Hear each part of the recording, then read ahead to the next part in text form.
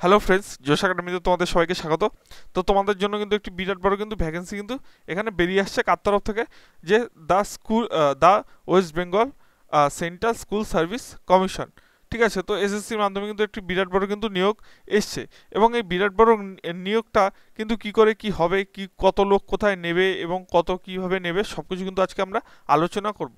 প্রথমত দেখো তোমাদের এই নোটিশটি যেটা নোটিশে যেটা বলা হয়েছে সেটাই আমি আজকে বলছি যে গ্রুপ সি এবং ডি এর কিছু কর্মী কিন্তু নিয়োগ করা হবে, ঠিক আছে? স্কুল সার্ভিস কমিশনের মাধ্যমে।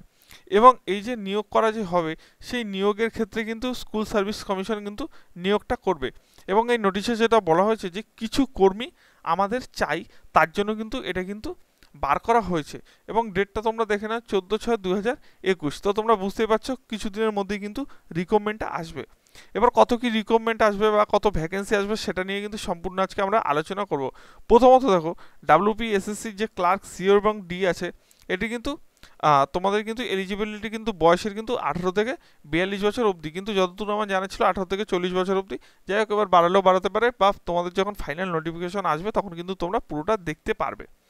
এবং দেখো, তোমাদের যে ডাব্লিউবি এসএসসির যে ক্লার্ক এলিজিবিলিটি আছে এবং এডুকেশন কোয়ালিফিকেশন আছে, সেটাও কিন্তু আজকে আমরা আলোচনা করব। তো দেখো ফর ক্লার্কের জন্য কিন্তু স্কুল ফাইনাল পাস মাধ্যমিক বা মাধ্যমিকের সমতুল্য এবং এইচএস পাস কিন্তু লাগবে। এইচএস পাস কাদের লাগবে? এইচএস পাস কিছু কিছু ক্ষেত্রের জন্য কিন্তু লাগবে। এবং দেখো গ্রুপ ডির যে কর্মী আছে গ্রুপ ডিতে কি লাগবে? গ্রুপ ডিতে কিন্তু অবশ্যই এইট ক্লাস পাস লাগবে বা রিকগনাইজ ওই সমতুল্য কিন্তু পাস কোনো লাগবে প্রথমত। এবার বয়সটা কি মেনশন করা আছে? Age limit? তো দেখো, এজ লিমিট কিন্তু মিনিমাম কিন্তু এইটিন ইয়ার্স এবং ম্যাক্সিমাম কিন্তু ফর্টি টু ইয়ার্স। এবার যখন আসল নোটিফিকেশন আসবে, তখন কিন্তু বোঝা যাবে যে বয়সের ক্রাইটেরিয়াটা কী এবারে রাখা হয়েছে। এবং এখানে অ্যাপ্লিকেশন ফ্রি আছে, বেতন আছে, কত, ঠিক আছে?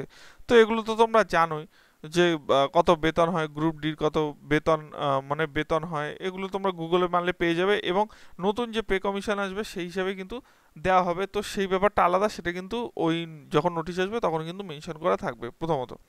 এবং দেখো সিলেকশন প্রসেস দেখো, প্রথমে কিন্তু রিটার্ন এক্সামিনেশন হবে, তারপর কিন্তু ইন্টারভিউ হবে। তোমরা জানো এসএসসি কিন্তু বহু বছর যে স্কুল শিক্ষকের নিয়োগ, সেই স্কুলের শিক্ষকের নিয়োগ কিন্তু অনেকদিন ধরে যাবৎ বন্ধ ছিল।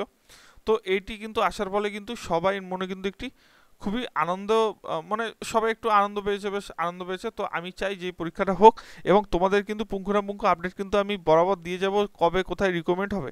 এবার তোমাদের যে ব্যাপারটা আসছে, আমাকে অনেকেই জিজ্ঞেস করল যে কত পদে তাও আসতে পারে। তো দেখো, প্রথমত এই ভ্যাকেন্সিটা কিন্তু অনেক দিন পর আসছে এবং ভ্যাকেন্সি অনেক দিন পর আসার ফলে, তো দেখো এখানে যে এখানে যে ছোট করে লিখেছে যে ল্যাবরেটরিজ যে লাগবে, ঠিক আছে?